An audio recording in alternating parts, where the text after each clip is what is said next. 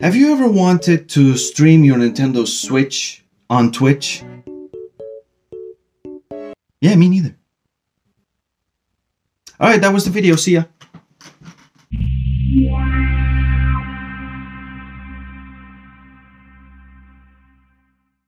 But all kidding aside, I was actually curious to find out if I could stream my Switch on Twitch.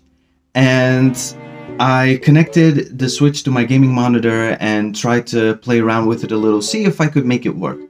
Unfortunately, it didn't. And I was a little sad, I have to admit. But after doing a little bit of research, I found out that a lot of streamers use capture cards in order to stream their Switch. So I decided to take a look at what a lot of streamers use in order to do this, and they are using the Elgato a lot, it seems. Or it looks that way, at least. But when I looked at the price of the Elgato, I almost fell off my chair. Because that's expensive. And you know what? For somebody who just wants to be able to stream but without having to spend that much money, the Elgato was just not the right option for me. So I decided to look for something that was way cheaper. And that's when I found this one. The EarKings video capture card. Or not card, but just the video capture in HDMI. And I bought this from a website that I usually buy my products from and it was it was pretty cheap. But the question is, does cheap equal good? And that's what we're going to find out today.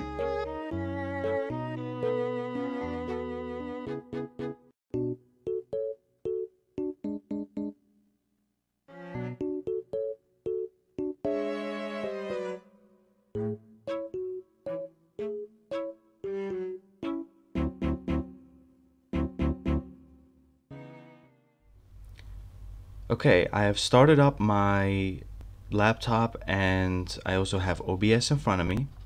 And of course, the preview right now is black because the switch is off. But the moment we turn it on, the image doesn't just show up in OBS. We need to actually add another source, which is a video capture device. Click OK and then click on OBS video and there you go. We have an image. We don't have any audio. That is another extra step that we have to take in order to make this work. But so far looking at the responsiveness it responds really well. The image is clear. So I'm gonna turn on this game. I was playing this anyway so now what we're going to do in order to capture the audio as well, we need to go to our speaker icon, sounds, go to recording. And right now, the microphone that I'm using, as you can see, has a little green bar that goes up and down because that's the one I'm using. But the one that you need is this one. Digital audio interface. Now, when you turn it on, it's actually by default on, of course. I disabled it for the, for the video. Normally, no sound comes out of it. But you can see that this thing does have a green bar. So what you're going to do is you're going to click right on your mouse, click to properties, listen, and then check this. Listen to this device, click apply and OK. And then the audio is hearable on your desktop or your laptop. So in order to capture the sound as well, you will need uh, to have desktop audio. And like I said you need to have this enabled. And listen to this device checked. And then you should be able to record your voice and the audio of the switch. The audio is pretty loud but thankfully we can just bring this down if we want. And if we then start recording, plus of course the sounds, I keep closing this. Okay, there we go. It is softer. So let me show you. We won't hear a difference in OBS, but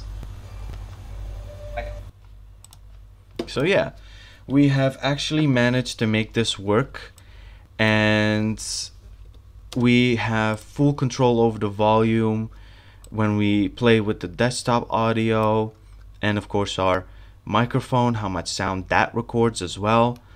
So yeah that's basically it. You can immediately start recording and I'm actually really happy with the results. I am definitely going to stream my Nintendo Switch tonight I am very very excited for this I hope that you guys will join me as well that would be really really fun thank you for watching this video I hope you enjoyed it. If you want this video capture card, I will put the link up in the description. And of course, don't forget to give this video a like, subscribe to the channel if you want to see more videos, and I will see you in the next video.